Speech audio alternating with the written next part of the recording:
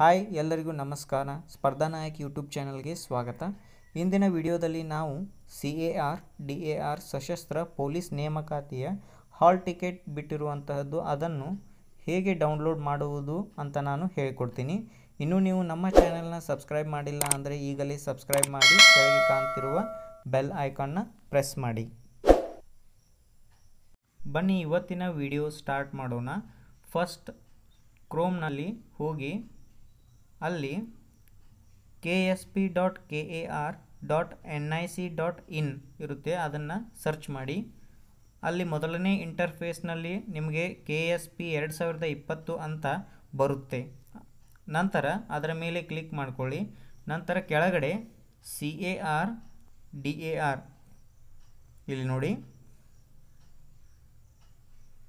ಇಲ್ಲಿ ಕೊಟ್ಟಿದ್ದಾರೆ application for the post of armed police constable men C A R D A R ಎರಡು ಸಾವಿರದ ಇಪ್ಪತ್ತು ಅಂತ. ಇಲ್ಲಿ total number of the post ಒಂದು ಸಾವಿರದ ಐದು eligibility to apply N H K ಅಂತ. ಅದರ ಮೇಲೆ ನಾವು ಹೋಗಿ ಕ್ಲಿಕ್ ಮಾಡಿಕೊಳ್ಳಿ. ನಂತರ ಈ ಥರ ಇಂಟರ್ಫೇಸ್ ಓಪನ್ ಆಗುತ್ತೆ. ಇಲ್ಲಿ ನೋಡಬಹುದು ಕಾಲ್ ಲೆಟರ್ ಅಪ್ಲೋಡ್ ಆಗಿದೆ ಅಂತ ತೋರಿಸ್ತಿದೆ. ನಂತರ ಇಲ್ಲಿ ಮೈ ಅಪ್ಲಿಕೇಶನ್ ಇಲ್ಲಿ ನೋಡಿ ಮೈ ಅಪ್ಲಿಕೇಶನ್ ಮೇಲೆ ಕ್ಲಿಕ್ ಮಾಡ್ಕೊಳ್ಳಿ. ನಂತರ ಲಾಗಿನ್ ಅಂತ ಪೇಜ್ ಬರುತ್ತೆ. ಇಲ್ಲಿ ನೋಡಿ ಲಾಗಿನ್ ಅಂತ ಪೇಜ್ ಬರುತ್ತೆ. ಅಲ್ಲಿ ಅಪ್ಲಿಕೇಶನ್ ನಂಬರ್ ಅಂದರೆ ಅರ್ಜಿ ಸಂಖ್ಯೆ. ಮೊದಲಿಗೆ ಅರ್ಜಿ ಸಂಖ್ಯೆ ಅಂತ.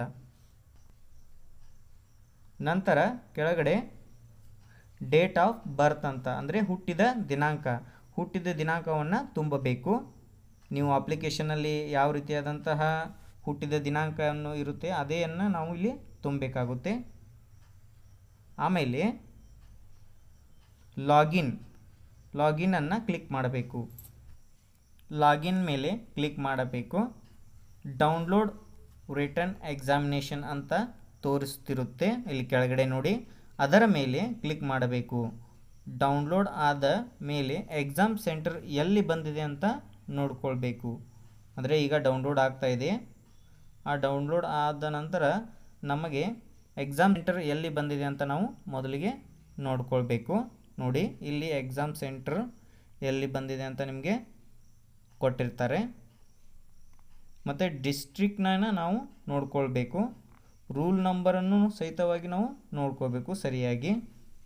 ಇಲ್ಲಿ ರೂಲ್ ನಂಬರ್ ಕೊಟ್ಟಿರ್ತಾರೆ. ಅದೇ ರೀತಿಯಾಗಿ ಯಾವ ಡಿಸ್ಟಿಕ್ನಲ್ಲಿ ಇದೆ ಅಂತ ಅದು ಸಹಿತ ಎಲ್ಲ ಕೊಟ್ಟಿರ್ತಾರೆ. ಇಲ್ಲಿ ನೋಡಿ ಯಾವ ರೀತಿ ನಾವು ಎಕ್ಸಾಮ್ನ ಬರಿಬೇಕು ಅಂತ ಎಲ್ಲ ವಿವರಣೆಯೂ ಸಹಿತ ಇಲ್ಲಿ ನೀಡಿರ್ತಾರೆ. ಇದನ್ನು ಒಂದು ಸರಿ ನಾವು ಹೋಗೋ ಹೋಗೋ ಎಕ್ಸಾಮ್ಗೆ ಹೋಗುವಕ್ಕಿಂತಲೂ ಮುಂಚಿತವಾಗಿ ಇದನ್ನೆಲ್ಲ ಸರಿಯಾಗಿ ಓದ್ಕೊಂಡು ಏನೇನು ಬೇಕು, ಏನು ಬೇಡ ಅಂತ ನಾವು ಎಲ್ಲ ನೋಡಿಕೊಂಡು ಆಮೇಲೆ ಇಲ್ಲಿ ಕಲ್ಯಾಣ ಕರ್ನಾಟಕ ಅರ್ಜಿ ಹಾಕಿದವರು ಯಾವ ರೀತಿಯಾದಂತಹ ಭರ್ತಿ ಮಾಡಬೇಕು, ಅದೇ ರೀತಿಯಾಗಿ ರೋಲ್ ನಂಬರ್ನ ಯಾವ ರೀತಿ ಭರ್ತಿ ಮಾಡಬೇಕು ಮತ್ತು ನಮಗೆ ಯಾವ ಡಿಸ್ಟಿಕ್ನಲ್ಲಿದೆ, ಇದನ್ನೆಲ್ಲ ಯಾವ ಎಲ್ಲ ವಿವರಣೆಯನ್ನು ಇಲ್ಲಿ ಕೊಟ್ಟಿದ್ದಾರೆ. ಇದನ್ನು ಒಂದು ಸರಿ ಸರಿಯಾಗಿ ಓದ್ಕೊಳ್ಳಿ. ಓದ್ಕೊಂಡ ನಂತರ ನೀವು ಏನು ಮಾಡಬೇಕಾಗುತ್ತೆ ಅಂದರೆ ಎಕ್ಸಾಮ್ ಸೆಂಟರ್ಗೆ ಹೋಗಬೇಕಾಗುತ್ತೆ.